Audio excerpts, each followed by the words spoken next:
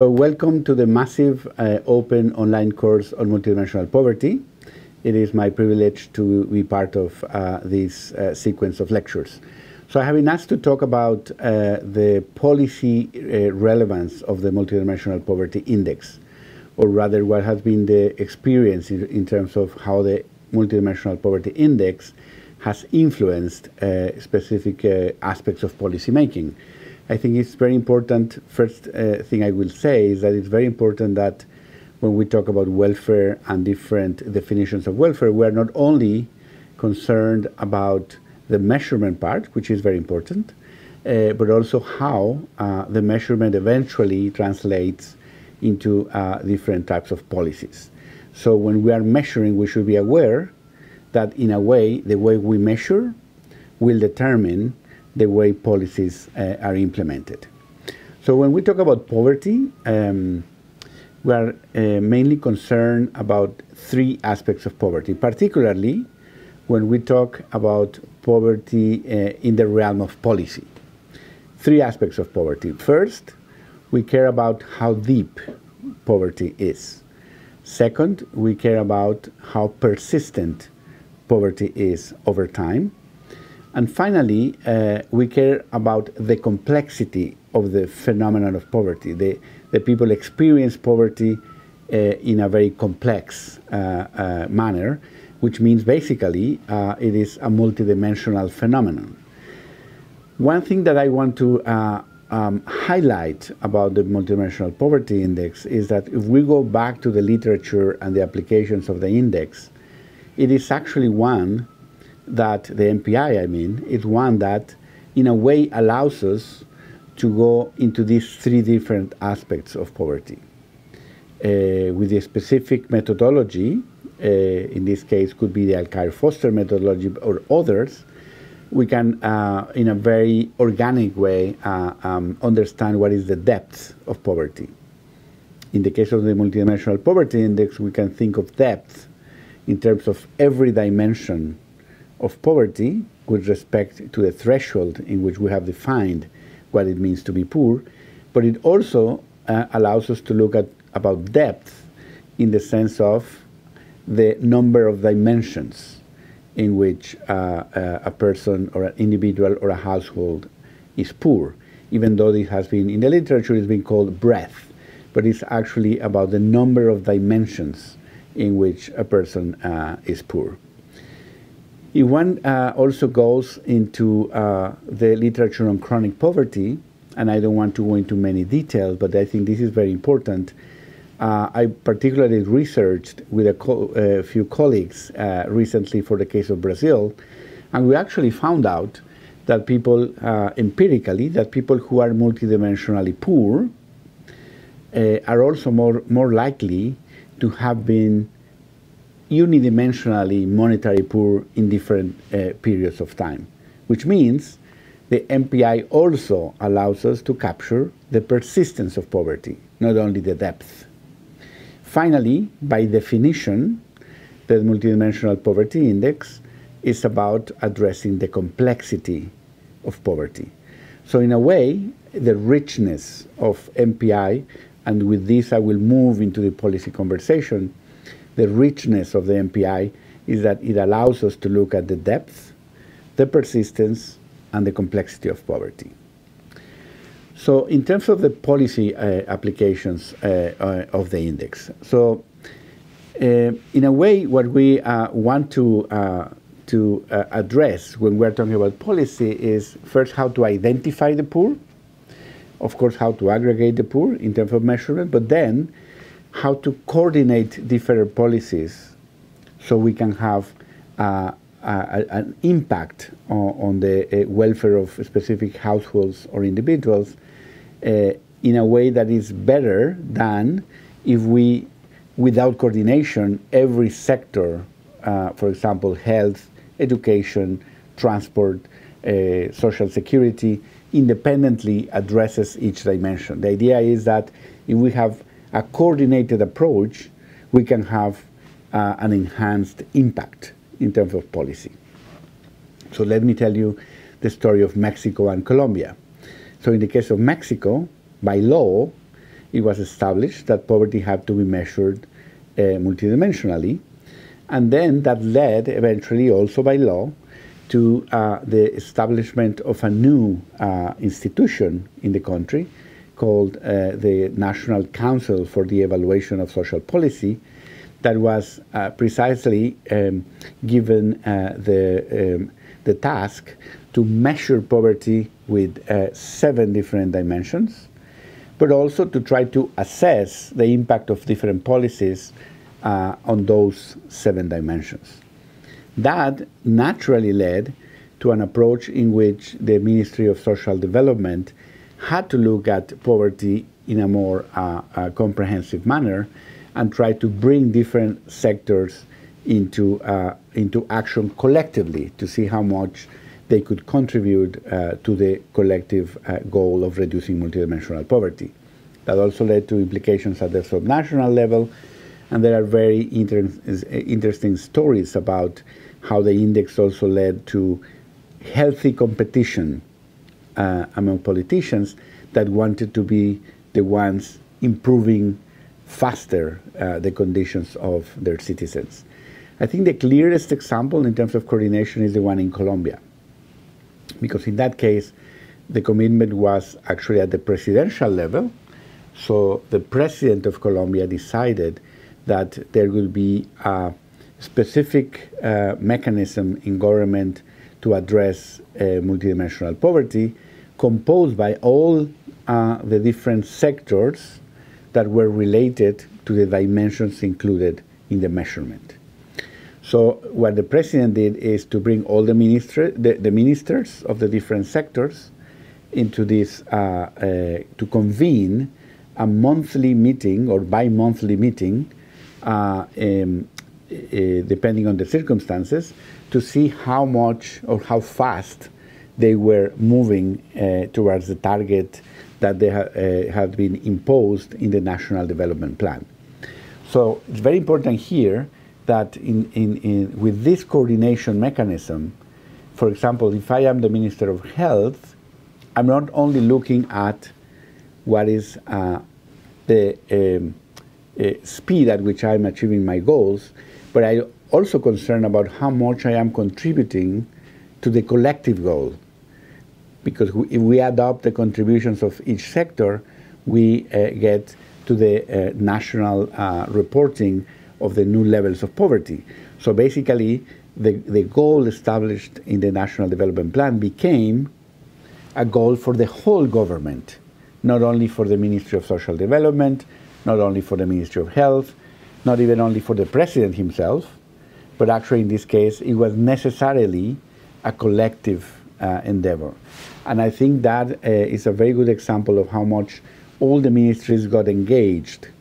and involved uh, very actively into the reduction of multidimensional poverty. And then the MPI, which was originally only one way to measure poverty in a different way, became a very powerful tool uh, for um, uh, the elimination of poverty uh, in Colombia. So MPI is not only a measurement tool, it's also a policy coordination tool. This is a second very important uh, message. Third message is uh, the MPI uh, is also uh, an instrument to strengthen governance and to uh, bring about more accountability uh, between government and citizens. Why? well, basically because all these uh, coordinated efforts of government in the case of Colombia, in the case of Mexico, we can talk about the case of Costa Rica and others, basically it became um, a very transparent manner in which citizens could actually hold governments accountable in terms of their objectives. You can always say that the same could happen with a monetary measurement of poverty, which is in principle true. However, when you have a monetary measure of poverty, if I am the government and we don't achieve the, the, the goal, I can always tell you that there were external circumstances. I can tell you, for example, that there was a slowdown in, in the economic uh, conditions in the country, in economic growth, I can tell you that there were issues related to inflation. I can tell you that there were issues beyond the control of the government. It is more difficult for a government to claim that there were all these external factors when we are talking about, about the delivery of very specific services. If we're talking about education, we're talking about health, we're talking about investment in infrastructure, access to water, uh, social security. Um, those are under the control by legal mandate of the government. So in that sense, the government can be um, can be held accountable for the uh, uh, achievements or the lack of achievement in terms of those those goals. So the MPI becomes also an instrument to strengthen uh, accountability and to enhance uh, governance uh, and eventually, if successful, to build trust between uh, citizens and governments. Another interesting example is how much um, this has helped um, fine-tune policies uh, in terms of the territorial distribution of poverty. There are uh, examples, and, and for this, uh, it is very important to say that the MPI allows you to do that much better than a monetary measure again, because as we know, if we have census data or we have certain type of survey data, we can have disaggregation of these uh, different uh, aspects of poverty at, at a, a lower geographic uh, level in terms of geographical uh, um, areas rather than when you have only income. As we know, we have the poverty mapping methodologies that allow you to estimate income, but always the level of error uh, tends to be higher the smaller the geographical area you are dealing with. If you can use census data and you have access to these basic services, you can have a very uh, detailed map of where the uh, um, you know the people who are lagging behind in terms of access to these different uh, uh, uh services are, and if you aggregate those through a through the right uh, methodology as a poverty index, you can actually address it as a,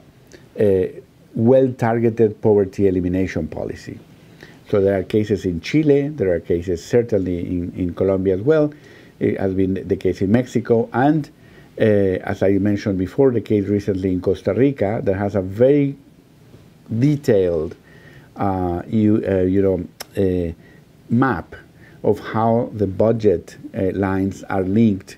uh, to the different aspects of the multidimensional poverty index, and also how much they are linked to specific areas in terms of geogra geography. So the fact that the MPI can also be used to fine-tune uh, the territorial targeting of poverty is another aspect that has been uh,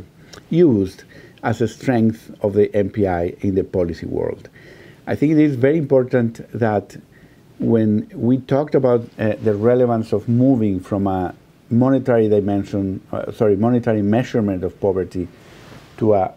a multidimensional approach to the measurement of poverty, conceptually, it was a big step forward in terms of, of, how we conceptualize and understand what poverty is. As I said at the beginning, it's not only about not having the certain level of income, but it's also about the depth the persistence and the complexity of poverty. So an MPI gave us this more comprehensive definition of what, what being poverty, uh, being poor means. However, and this was, I could argue, understood only later, that this would also become a very important uh, um, a, a tool to improve policy, to improve the targeting of policy, to improve the coordination of policy, and to improve uh, the accountability of governments when it comes uh, to, to social policy. So given that, I think the, the full cycle of the relevance of the multidimensional poverty index can only be understood when we look at the policy implications. If the measurement doesn't change policy, it becomes only an achievement in terms of the conceptualization of poverty. But I think the real test when it comes to having an impact